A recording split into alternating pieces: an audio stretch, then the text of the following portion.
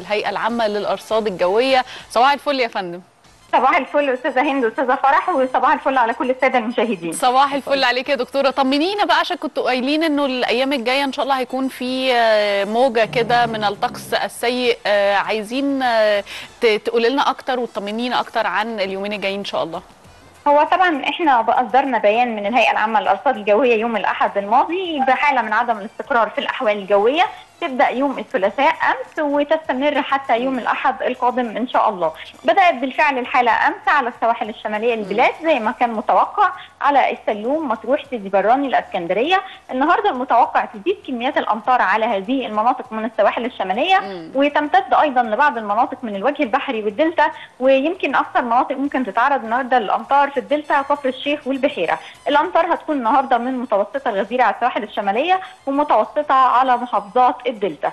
آه بداية من غدا الخميس إن شاء الله الأمطار تكون من متوسطة الغزيرة ورعدية على السواحل الشمالية تمتد أيضا لمحافظات الدلتا وتصل امطار من خفيفة لمتوسطه على القاهرة.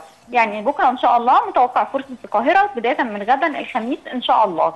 يوم الجمعة والسبت والحد تزيد كميات الأمطار إلى حد ما تكون. متوسطة الغزيرة ورعدية سواء على السواحل الشمالية، الوجه البحري، مدن القناة، القاهرة، شمال ووسط سيناء أيضا، وشمال ووسط سيناء الطبيعة الجغرافية ممكن تخلي الأمطار تتحول لسيول في بعض المناطق وطبعا ده نتيجة للمرتفعات اللي موجودة في سيناء.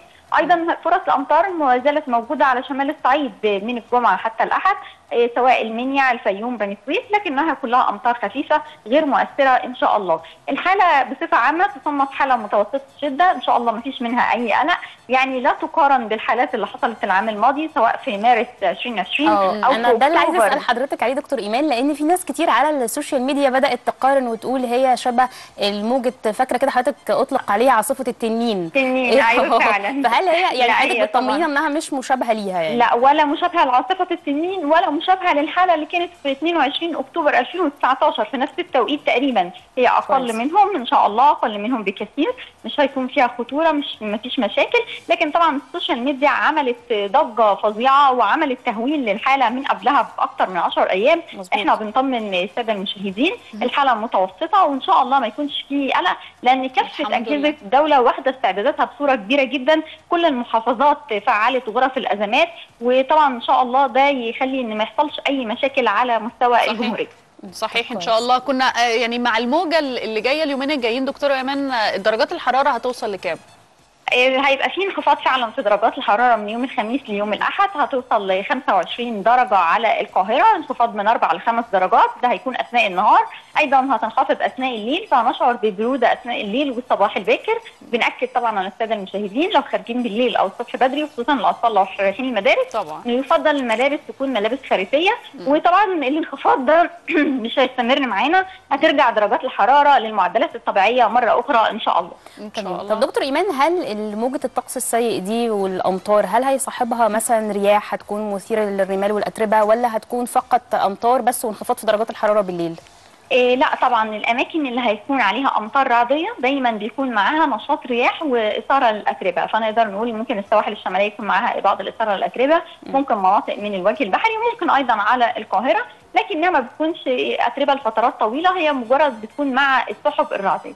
وهي الأمطار هتكون يعني يعني في أي وقت من اليوم دكتور إيمان تقريبا الصبح أكتر لا هو طبعا؟ يعني ما بيفضلش تحديد وقت معين من اليوم أه. لكن نقدر نقول مثلا القاهرة الخميس هتبدأ من بعد ظهر اليوم فرصة القاهرة يوم الخميس يوم الجمعة والسبت والحد هتكون متغيرة على مدار اليوم. يعني ممكن من فترة الصبح تهدى شوية وترجع تاني العصر يعني فترات متقطعة من اليوم.